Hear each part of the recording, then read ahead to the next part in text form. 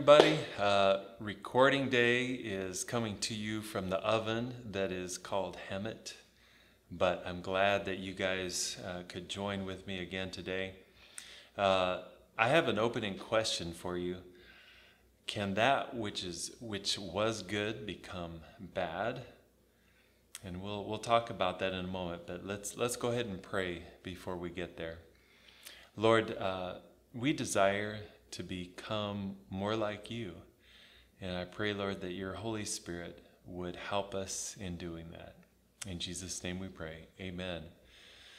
All right, so when we are introduced to King Hezekiah in the Old Testament, it's, it's normal for the writer to tell us whether that king, uh, a king, followed you know, the Lord or did not follow the Lord. And Hezekiah did follow the Lord.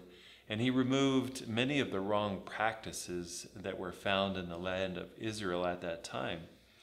And here's what it says in 2 Kings 18:4. He, Hezekiah, removed the high places and broke the pillars and cut down the Asherah, and he broke in pieces the bronze serpent that Moses made. For until those days the people of Israel had made offerings to it, and it was called Nehushtan. So, did you catch what it said there?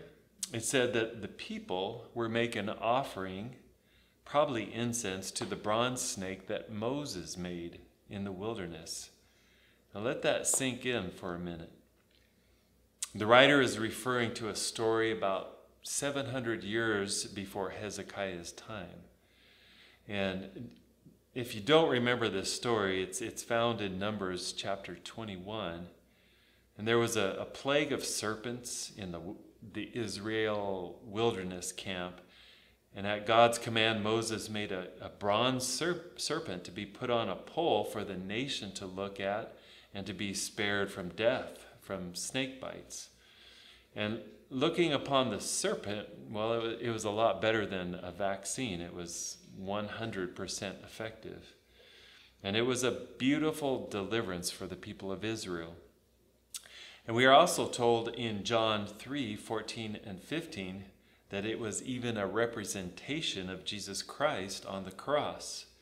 And we can look to Jesus, who was made to be sin and be delivered from the bite of the serpent himself. So apparently, the Israelites held on to this bronze serpent, and it may have ended up in the temple area at some point. So, what happened here? How did something so good turn so bad? And we see in places in the Bible where it was good and right to have reminders of what the work that the Lord had done. In fact, many of those reminders were commanded by God. For example, there were items that went into the Ark of the Covenant uh, Aaron's staff, a jar of, of manna and there was a stack of 12 stones after they crossed the, the Jordan.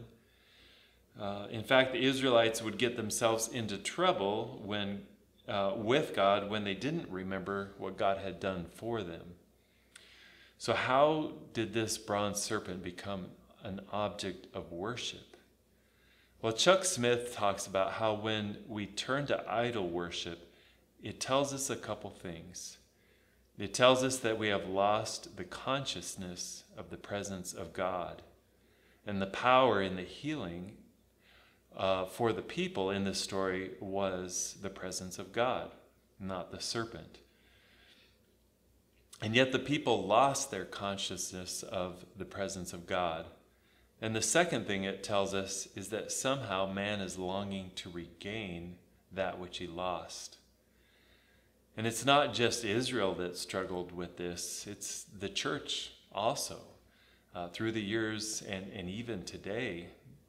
And we remember the great things that have happened in the past when God displayed his power in a mighty way, but we have slowly lost our consciousness of God. And we start to long for what has been lost.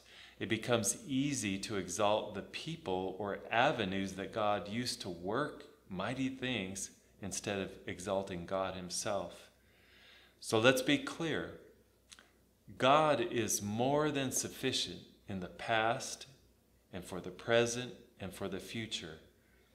We remember what he has done in the past and we glorify him for his mighty deeds.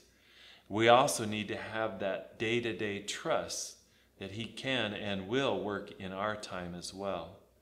We need a forward looking, active faith in God an anticipation that he is not confined to just memories. So let's encourage one another in that kind of faith. Let's go ahead and close in prayer. Lord, I pray that the trappings that we can fall into uh, by making idols of things in the past, even if it's uh, the way that you worked, Lord, I pray that you would rescue us from that.